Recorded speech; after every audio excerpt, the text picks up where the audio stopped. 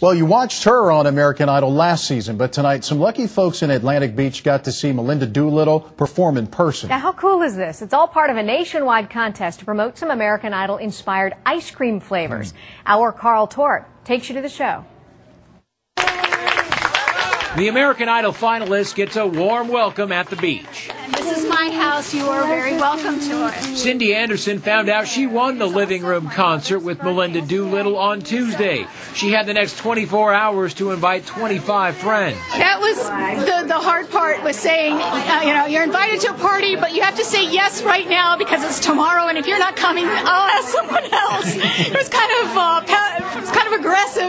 The party is extra special because of Cindy's mother, who turned 73 today.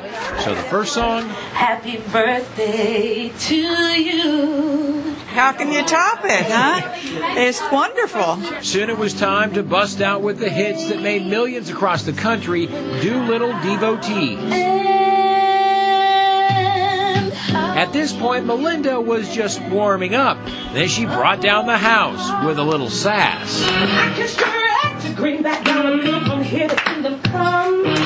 And even though you wouldn't think it, the former idol admits this about tonight's venue. I get a little more nervous when it's small um, for a couple of reasons. First of all, I can see everybody instead of there being a big light in my face and me not being able to see everybody. And then I'm very loud.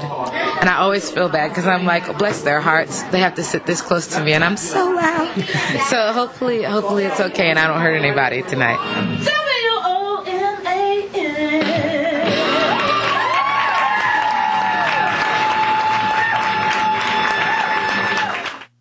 That is really cool. That was Carl Torp reporting. And Cindy actually won the contest by voting for her favorite American Idol Edy's Slow Churn ice cream flavor.